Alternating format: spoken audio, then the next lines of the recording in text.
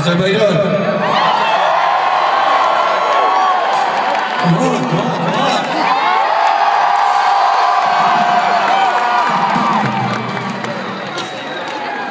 on. Maybe you're used to seeing a hockey game or something in here.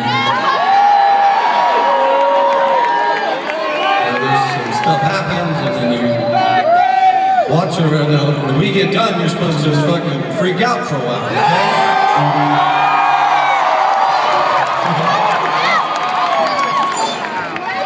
Steven, if I go back there, tell the Black Keys and these people in Pittsburgh aren't high enough for them to come out yet. We gotta fix that. I mean, you'll stay here? I don't know what would happen. He said he was gonna bring the baby. Some point he said. So, come on, you guys gotta be fucking good and freaked out time